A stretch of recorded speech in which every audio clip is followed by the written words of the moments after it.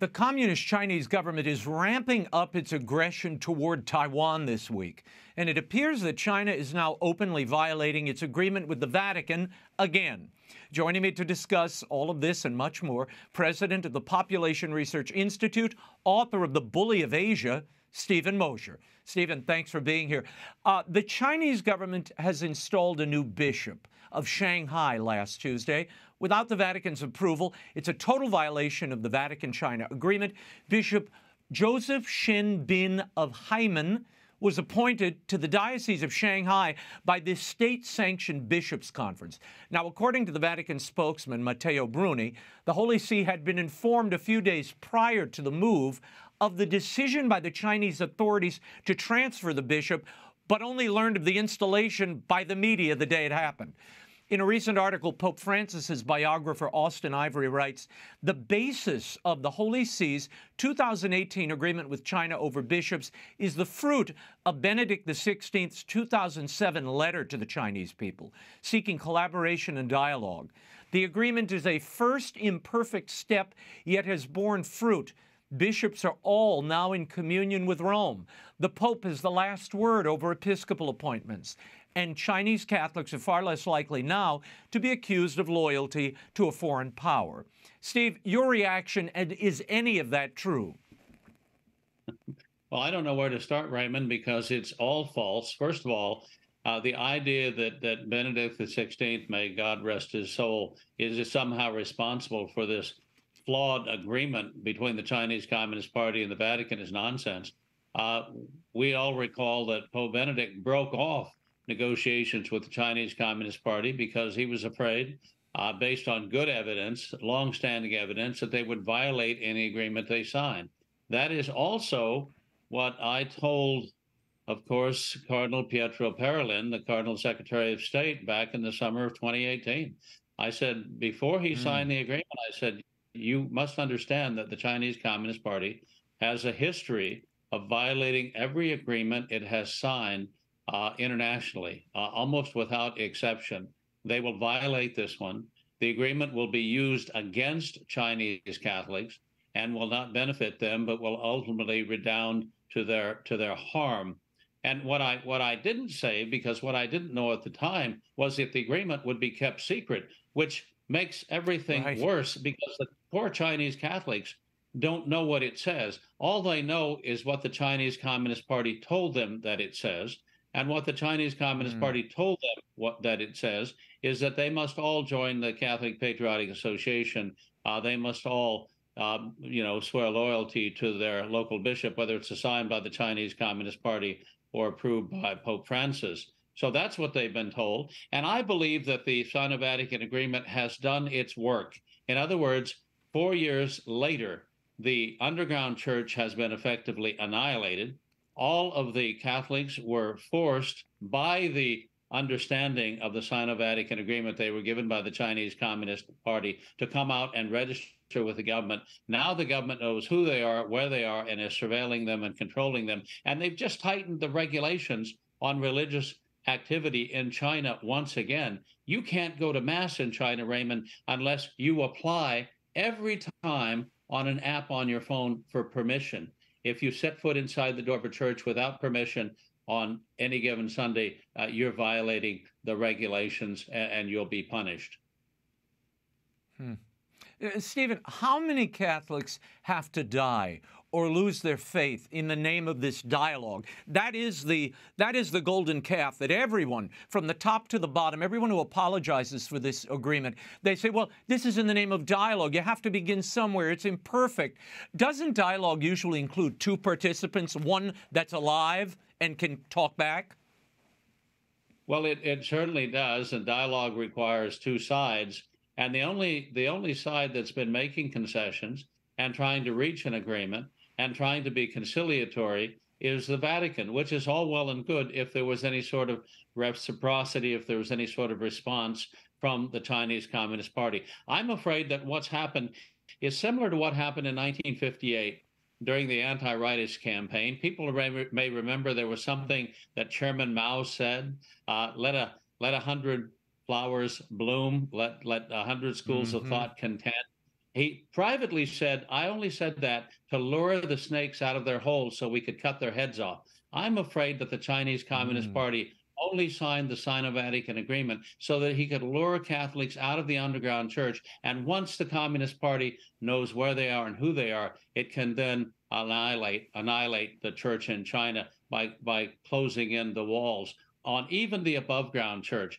This appointment of the Bishop of Shanghai the two most important sees in China are the See of Beijing, the capital, and the See of Shanghai, which is the commercial center for the country. And to name Bishop Shen Bin to be the head of the See of Shanghai without even notifying the Vatican shows, I think, that the uh, the Sino-Vatican agreement is now whatever it once was is now clearly a dead letter. Even even the Vatican uh, had nothing to say, no defense against this obvious violation of what was supposed to be an agreement over the appointment of bishops. Well, that's now happened several times. Last fall, November, it right. happened when in, in Jiangxi, where they appointed a bishop without notifying the Vatican, and the Vatican scrambled to say, "Well, you know, we're talking to the Ch-. they they they haven't offered any excuse this time." So I think even they know that uh, that the jig is up. Meanwhile, the situation on the ground in China has only gotten worse for the faithful. Churches have been destroyed, people are harassed, uh, that their faith is being conscripted and, and stamped out. Does the Vatican need to pull out of this non deal at this point, or at least admit, Steve, that this was a huge, huge error and that because of their action, we have dead Catholics and a, and a squashed underground church in China, which is exactly what our friend Cardinal Zen told them would happen, by the way. Yes, uh, and and he was absolutely right. He's been right all along. Uh, he, of course, was involved in the early negotiations in the 90s and under Pope Benedict, and uh, he has been one of the foremost critics of this current agreement, uh, quite rightly so.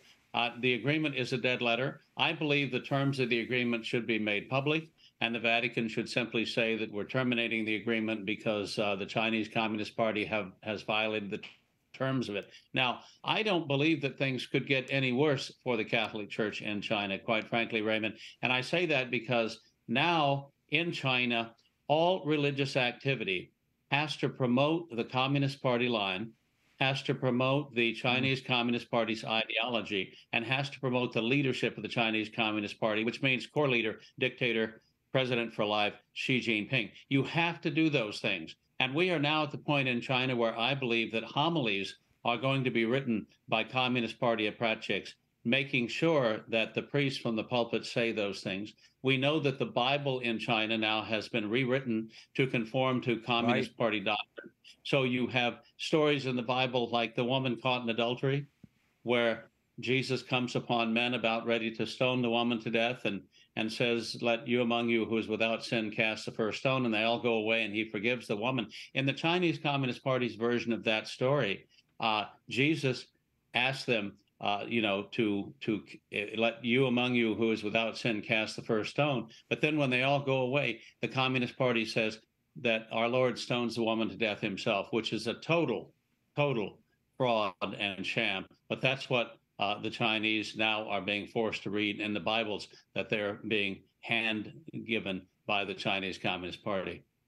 No, no, it's it's it breaks my heart. We've report we're probably the only broadcaster that has reported that, Steve, and has been doing so consistently. The the distortion of the word of God.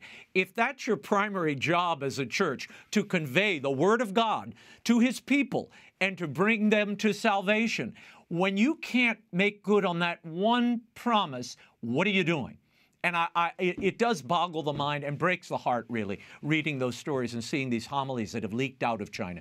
It's, uh, you know, we, we, should pray for these people. We should do so every day, as I do. Um, Steve, the Chinese launched three days of large scale military drills in response to the Taiwanese president meeting with U.S. lawmakers early last week at the Reagan Library. Uh, these military drills included China's military practicing blockades and releasing an animated simulation of how China could attack Taiwan. Now, Steve, we have seen Chinese military drills in the past near Taiwan, but these drills were played out on state run TV in China and even shown on big screens in major Chinese cities. What message are the Chinese communists looking to send here? And how soon do you think a Chinese attack on Taiwan could be?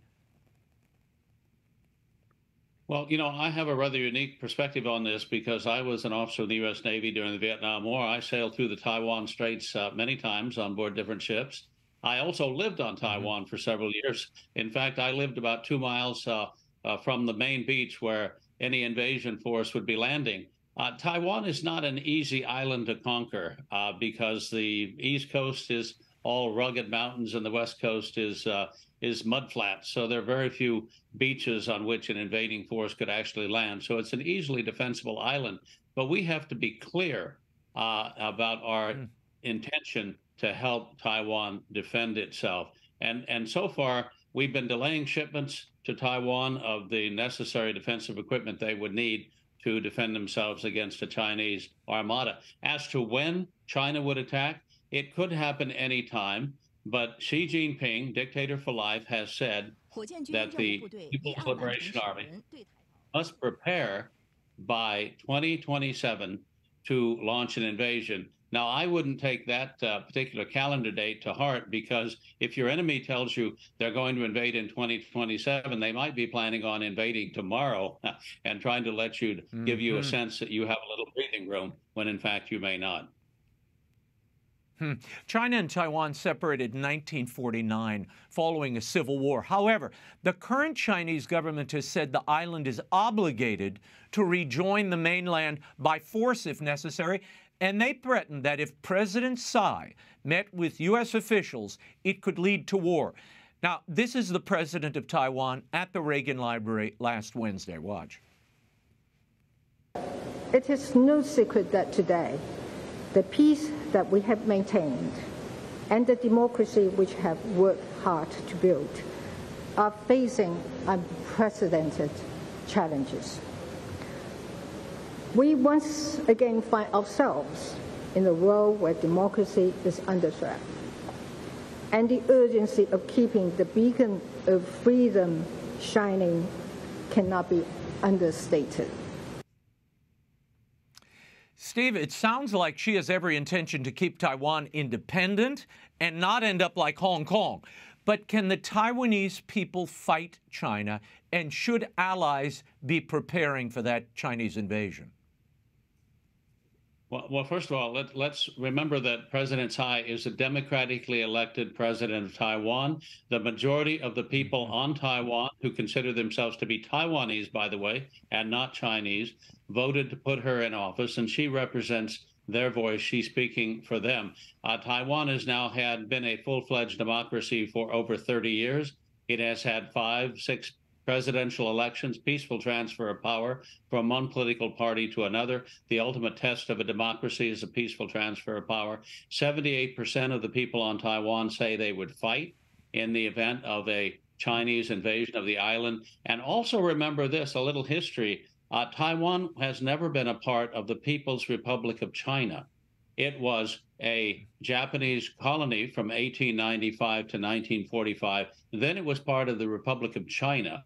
And that's where Chiang Kai shek's forces retreated to in 1949 after losing the civil war on the mainland. But the Communist Party, which rules mainland China, has never ruled Taiwan. And the Taiwanese people now, quite frankly, if there were a free and open vote, uh, they would only get uh, a, a small percentage of the population. Nobody on Taiwan effectively wants to join mainland China. They want to have peaceful relations, of course. They don't want to be in a fighting war. Uh, they want to trade with right. with mainland China, but they certainly don't want to uh, to be a part of it. So the, the the wishes of the people on Taiwan need to be respected, and and we need, I think, to to stand with them. There are economic reasons to do that because Taiwan manufactures most of the chips in the world. There are security reasons right. to do that because Taiwan is part of the cont- island containment uh, of China that begins in South Korea and goes through Japan, down through the Philippines, Taiwan, and down into the South China Sea, where our allies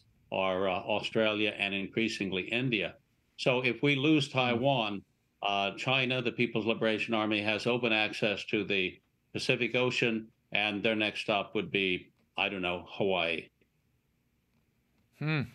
During the Taiwanese president's visit to the U.S., House Speaker Kevin McCarthy, Steve, said of the relations between the U.S. and Taiwan this. The friendship between the people of Taiwan and America is a matter of profound importance to the free world, and it is critical to maintain economic freedom, peace, and regional stability. Steve, does the Biden administration have any influence on China? I mean, I know Biden said he would dispatch military before they walked it back should China invade Taiwan, but what's the real story here? Well, the, the real story is no one knows what our aging president would do in the event of a, a Chinese attack on Taiwan. And no one knows who would actually be making that decision, sadly, because it doesn't seem like uh, President Biden knows what the U.S. current policy is because three times he said we would defend Taiwan, and three times an anonymous White House official has walked that back. So, uh, who would make the call to defend Taiwan? I don't know. But what we should be doing now is is not thinking about an actual invasion. We should be preempting that invasion by arming Taiwan to the teeth. We should make Taiwan into such a porcupine that China would not dare touch it. And it would be fairly easy to help Taiwan defend itself against an invasion by providing anti ship missiles. Uh, we're currently, however, depleting our armories by sending everything, virtually everything we have, uh, to Ukraine. And uh, apparently, according to the latest uh, games that we've carried out, war games that we've carried out, our inventory of things like anti ship missiles would only last a week in the event of conflict. But as I say, we should be thinking here of deterrence. We should be thinking here of peace through strength, which of course was President Reagan's mantra. And instead, we seem to be be be be confused about what our role would be and and how important Taiwan is in the grand scheme of things. Yeah, well, it's certainly in our national interest, given all the semiconductors for these electric cars and devices everybody relies on. This is where the majority of them come from in the world. We only make, what, 12% of them here any longer in the United States? So it is of major national importance. Uh, forget the strategic uh, importance that you pointed out a moment ago. Last month, China's President Xi Jinping and Russian President Putin signed an agreement which they say brings their ties into a quote new era of cooperation. And they're working toward what they call responsible dialogue to resolve the Ukraine crisis.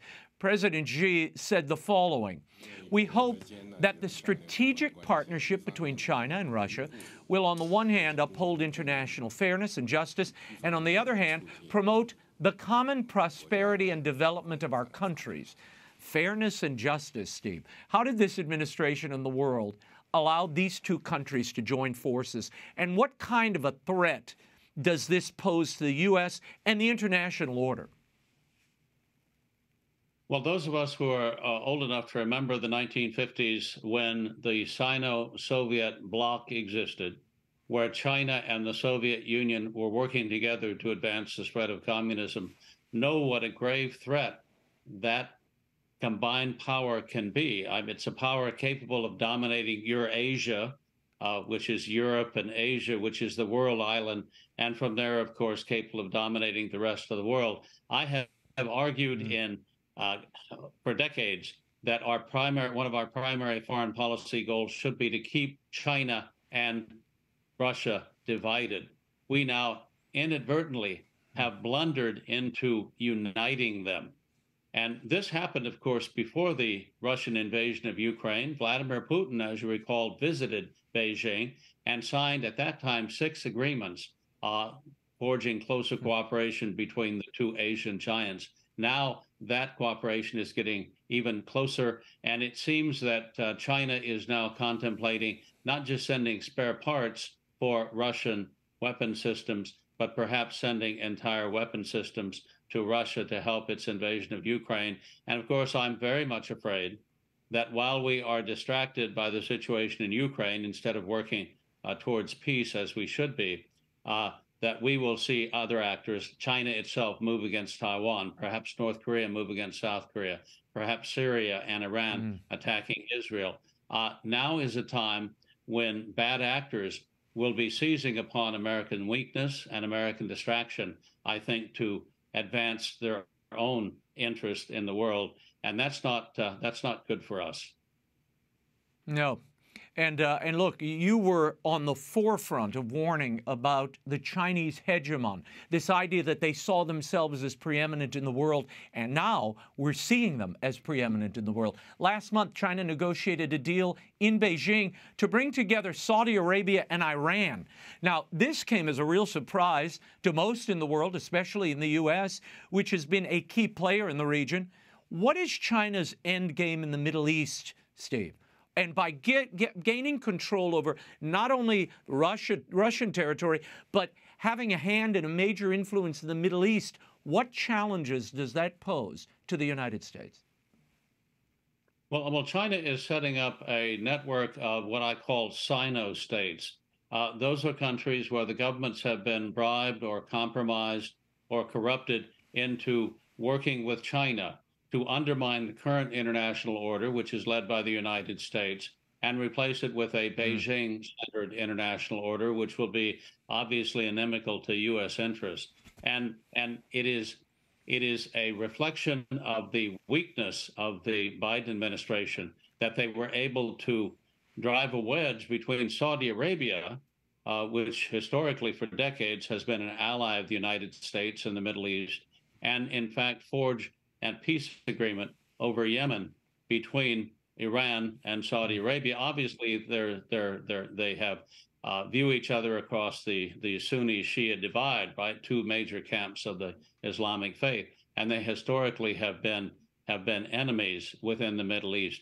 Now, for China to broker a deal between the two of them suggests that uh, that it is China now that in the Middle East whose word will carry more weight rather than the United States. And I have to say at this point that the Biden administration has not only uh, criticized Saudi Arabia and driven it into China's arms, it has also been unsupportive of Netanyahu and and and Israel, which of course emboldens Israel's enemies in the Middle East, Syria, and uh, Hamas and Iran, of course, to move against Israel at this time. So uh, weakness is destabilizing not just in the Far East vis-a-vis Taiwan or in the, the Korean Peninsula. It's destabilizing in the Middle East as well. And and the the underlying motive here, I think, for Saudi Arabia was China has promised to give it nuclear technology if Saudi Arabia agrees to accept Chinese currency instead of the US dollar for oil purchases. Hmm. So this undermines dollar supremacy. At the same time, it enables Saudi Arabia to get what it has long wanted, and that is access to the technology that may enable it to build nuclear weapons. So, among other things, the Chinese Communist Party is engaging, I think, in long term nuclear proliferation around the world, which will only destabilize wow. things further. These are not good signs no, it, for the United States. The weakening no, of the dollar, weakening of the international yeah, and even our allies in Europe are now abandoning us. You got France going its own way, Germany going its own way. I mean, but at least we have Ireland. He's holding on to Ireland, Steve. Uh, I want to get to a piece you wrote in the New York Post about how China is working to gain economic dominance around the world. Uh, th there are several countries from the South Pacific to South America whose ports and railroads, resources, even their economies, are in China's pockets. You refer to them as Sino states, as you did a moment ago.